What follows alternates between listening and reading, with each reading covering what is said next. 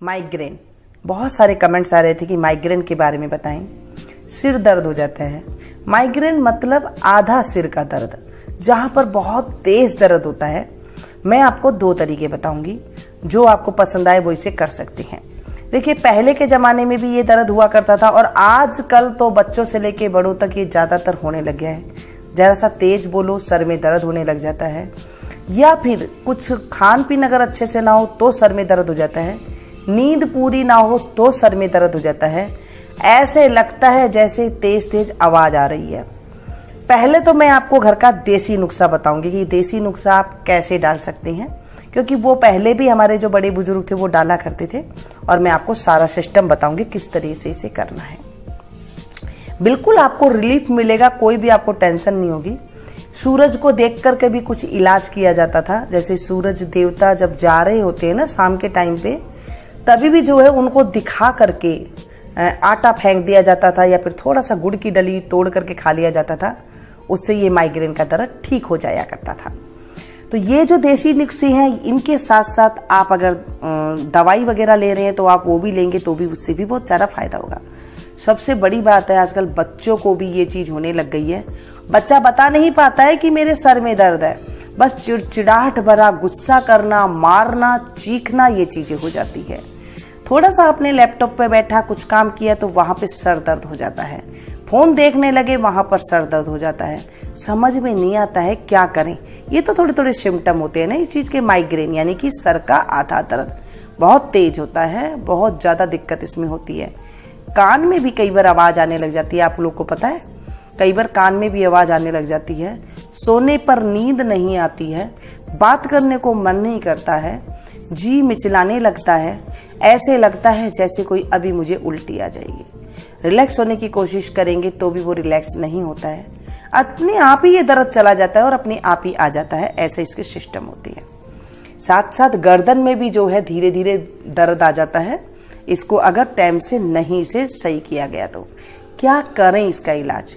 घर का अगर मैं देसी इलाज बताऊँ तो जैसे पहले हम लोग मालिश किया करते थे, आपको पता है, पहले हमारे जितने भी बड़े बुज़ुर्ग हुआ करते थे, मालिश करके स्नान किया जाता था। मालिश बहुत ज़रूरी होती थी। ये है घर का देसी घी। गाय का देसी घी होना चाहिए, ध्यान रखिएगा, चाहे आपको गाँव से मंगाना पड़े, चाहे आपको महँगा लेना पड़े, गाय का देसी घी लीजिएगा। अगर आपके पास कोई ऑप्शन नहीं है कि हम गाय का घी ले सकते हैं, इसके बदले में आप बादाम का तेल ले लीजिएगा।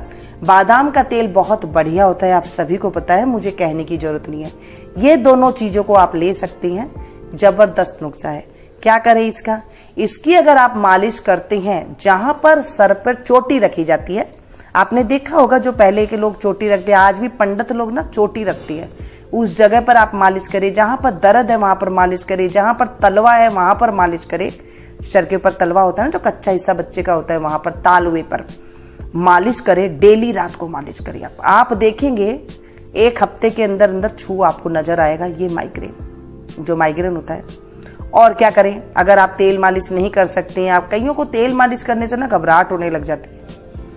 आप ये देसी घी को गुनगुना करके ध्यान रखिएगा, सीधी गैस पे गर्म ना करें। कुछ गर्म पानी ले लें, उसके बाद नीचे रख के, इसके, उसके ऊपर रखें और फिर मामूली सा गुनगुना घी या गुनगुना तेल, जो भी है गुनगुना करें। उसे नाक में डालें। दो दो बूंद नाक में डालें। अच्छे से एक नाक को बंद करें और दूसरी नाक से आप खींचे। रात के सोते टाइम पे डाल सकती हैं और डुप्लीकेट ना हो इस चीज़ का देखें। दूसरा तरीका, अगर आप लोग ये झंझट में नहीं पड़ना चाहते हैं तो आप ये देखिए, मैं आपके लिए एक चाय लेकर के आई हूँ। जो ये मसाले हैं इसके अंदर, जो आयुर्वेदिक, जो इसके अंदर चीज़ें डाली हुई है, जैसे गिलोय है, नीम की छाल है, हार्दिक है, ऐसे काफ़ी सारी चीज़ें हैं। जो हम एक साथ बना करके नहीं इसे चाय में डेली बना सकते हैं। आप लोगों को पता है ना गिलोय का कितना फ़ायदा है। तो इन चीज़ों से ही ये चाय बनाई गई है। साथ में जो है ये देखिए सिर्फ़ एक चम्मच हमें लेना है और बस इसे उबालना है। तो ये जो आ, हमारी जो आयुर्वेदिक इसके अंदर आ, जो गिलोय वगैरह है ये अपना छोड़ देंगे और ये जो चीज़ें हैं ये अपना असर छोड़ देंगे और उसके आपको पता है इनके कितने फ़ायदे हैं। बस इसे उबाल लीजिए। जब आप इसे दो से तीन मिनट अच्छे से उबालेंगे इसके बाद आप इसमें थोड़ा सा गुड़ डाल सकते हैं मीठे के लिए। गुड़ सबसे बेस्ट है। नहीं, ये चीनी डाल लीजिए। लेकिन जिन्हें शुगर है, वो गुड़ ना डालें। अब इसे क्या होता है, देखिए, इस चाय को जब आप पी लेते हैं, ये आपको ताकत भी देती है। मैंने जैसे कहा, गुड़ गुड़ ये पुराना गुड़ है, देखिए मेरा तो ये बहुत ज़्यादा हेल्दी होता है। जैसे मैंने कहा शुगर है तो वो आप ना डालें, आप उसे ऐसे ही पी सकते हैं। अब आप धूप में निकल रहे हैं तो आप इस चाय को पी करके निकल जाइए, आपके साथ में सर में दर्द नहीं होगा। और अगर है ना तो ये जैसे पुराना दर्द हो जाता है तो ये डेढ़ से दो महीने या दो से तीन महीने में ये ख़त्म हो जाता है। डेली बस आप चाय की तरह ले लीजिए, जैसे सुबह शाम लेना चाहे तब ले लें, दिन में एक टाइम लेना चाहे तब आप ले लें, बहुत बढ़िया है। बाकी इसमें सब चीज़ लिखी हुई है। मैंने सोचा चलिए मैं आपके साथ ये भी शेयर कर दूँगी। मैंने भी ये जो किसी के ऊपर अजमा के देखा था तो बहुत बढ़िया उसको रिज़ल्ट आया था। और ये बहुत, मैं भी ऐसे कभी कभी ले लेती हूँ, कोई अच्छी बात है इसमें। जो है दिमाग शांत रहता है, साथ में हमें ताकत मिलती है बुस्ट अप मिलता है बॉडी को, बहुत अच्छी ये जो है, आयुर्वेदिक एक चाय के रूप में हमें मिल चुकी है। इसके अंदर कॉब जो हर्ब्स है ना, इसके अंदर, वो बहुत ही ज़्यादा इम्यूनिटी पावर भी बढ़ाते हैं। आपको पता है जहाँ की इम्यूनिटी पावर हमारी बढ़ जाती है, वहाँ हमें कोई बीमारी आती नहीं है अपने पाप अब मैंने इसमें आपको सारी चीज़ बता दी। इसके साथ साथ इसमें जो है जो इसके अंदर विटामिन वगैरह है, वो भी बहुत अच्छा है। गिलोय हमें तो आम आदमियों को भी गिलो की डंडी को उबाल करके चाय के अंदर पीना चाहिए। तो इतने इसके अंदर फ़ायदे हैं। आप देख लें, अगर आपको इसे लेना है तो मैं लिंक इसे डिस्क्रिप्शन बॉक्स में दे दूँगी, जो आप इसमें से जाकर के खरीद सकती हैं। बस उबल चुकी है चाय, बिल्कुल बनकर तैयार है। बस इसे हम पियेंगे गर्मा गर्म, और इसे देखें, जैसा भी पुराना सर दर्द हो, ये गायब हो जाएगा। बस इसके साथ साथ और क्या होना है? इसके साथ साथ आपको इसमें एक कैप्सूल मिलेगा और साथ में जो है इसमें डिटॉक्स वाटर मिलता है। यानी कि जो मैंने आपको डिटॉक्स वाटर बताया हुआ है ना, जैसे मैंने कई तरह से आपको बताया हुआ है, ऐसे ही आपकी बॉडी में जो है डिटॉक्स करता है। जब बॉडी में कुछ गंदगी हो जाती है, यानी कि खून गाढ़ा हो जाना या फिर जैसे हो जाता है तो ये उसे अच्छा करता है, खून को साफ़ करता है, अलग कर देता है, यानी कि कचरा और जो अलग होता है उसे डिस्टॉक वाटर बोलते हैं। ये कैप्सूल है। इसे बस सुबह सुबह आपको लेना है। बस एक ले लीजिए। कभी भी दिन में एक टाइम आप देखेंगे बहुत बढ़िया ये आपको रिज़ल्ट देगा। और आपको बहुत ज़्यादा जो है, सर का दर्द भी इससे दूर हो जाता है। बहुत ही सिंपल तरीका मैंने आपको दो से तीन तरीका बता दिया है।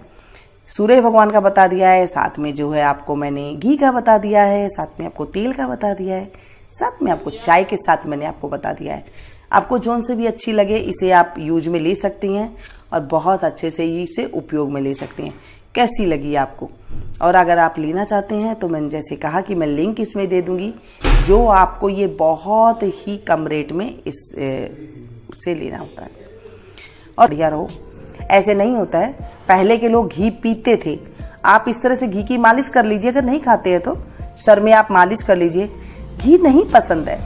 तेल की मालिश कर लीजिए। नारियल तेल ले लीजिए। बादाम का तेल ले लीजिए। उससे आप मालिश कर लीजिए।